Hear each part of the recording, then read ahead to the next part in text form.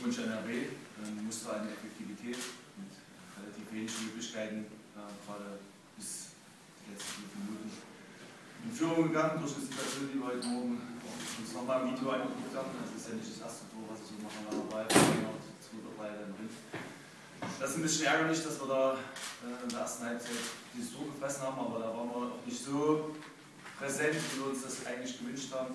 Das haben wir dann erst in der zweiten Halbzeit umgesetzt, haben dann eine Reihe von guten Möglichkeiten rausgespielt, die wir nicht genutzt haben. Und das ist halt das Dilemma des Berliner AK in dieser Saison, dass wir aus einer Reihe von Möglichkeiten dann eben nicht das Tor machen. Äh, sonst hätten wir sicherlich ein paar Punkte mehr. Und äh, wenn man keine Tore macht, kann man den Fußball nicht gewinnen. Und so haben wir dieses Spiel heute verdient oder nicht verdient. Einzelne Tore. Vielen Dank. Alex, bitte deine Minute.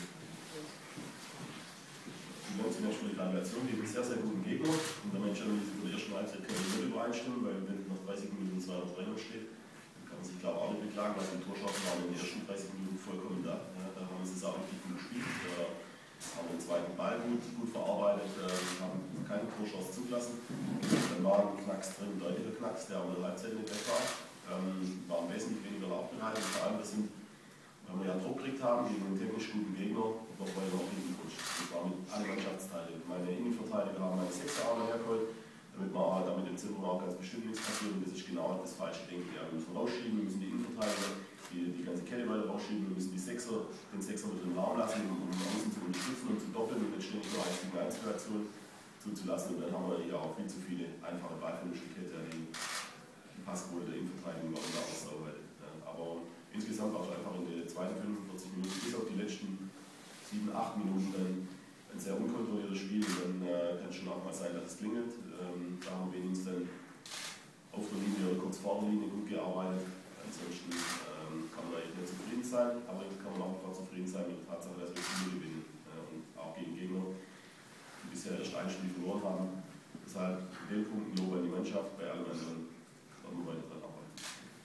Dankeschön. Eure Fragen bitte? Kurzes Handzeichen fürs Mikro. Ich glaube, das steht schon ganz richtig. Guido, bitte.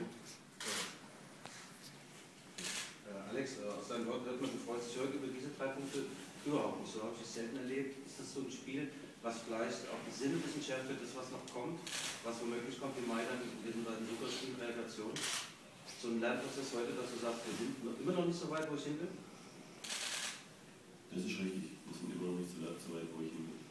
Aber in einem ganz spezifischen Bereich. Ja, wenn man das aufteilt in diese drei der Effektivität, regionale äh, Relationspartner, 100 Prozent.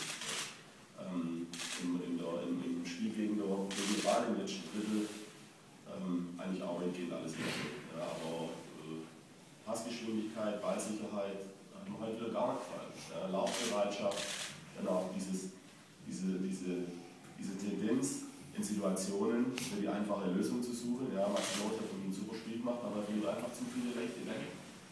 Zu viele rechte Bälle. Das ist ein brutaler Aufwand, wo wir jedes Mal betreiben müssen. Ja, und dann wollen wir die schnellsten Spieler, die in der Regionalliga überhaupt nicht. Und dann will ich aber hundertprozentig mit jedem Schritt einen Ball kontrollieren. Ja. Warum ist der Fußballer so eitel? Nehme ich doch meine Stärken und arbeite mit denen. Und nicht mit dem, was ich jedes Wochenende von meinem Bruder Ronaldo sehe. Ja, das geht halt nicht, das können wir alle. Ich es auch können. Ja, geht halt auch nicht. Aber insgesamt, was heißt böse, die Jungs gewinnen gegen Berliner AK und ich habe einen heilen Respekt vor der Mannschaft. Wirklich einen heilen Respekt. Ähm, habe ich nach wie vor. Gewinnen wir 1-0 und spielen auch 30 Minuten richtig guten Fußball. Bloß wir müssen halt daran weiterarbeiten. Und, und das nicht irgendwann mal, irgendwann mal abbrechen. Und uns auch nicht verstecken.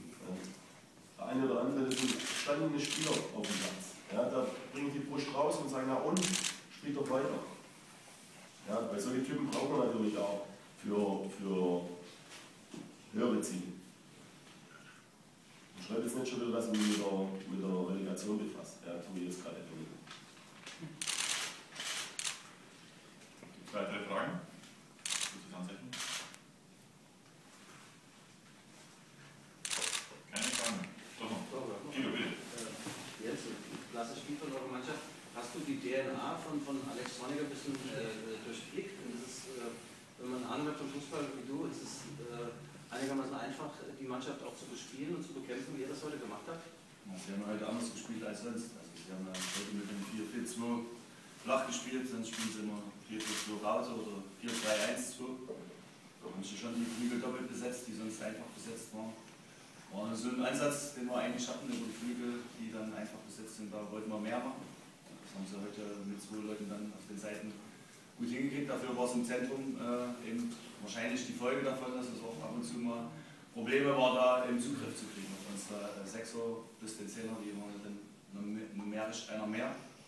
Das ist manchmal so Fußball, Zwischenzahlenspielerei, aber im Endeffekt muss man auch sagen, die erste Halbzeit war natürlich auch schwierig. Also manchmal sind die Zuschauer mitgekriegt haben, die Hälfte da unten auf Strafraumhöhe war gefroren.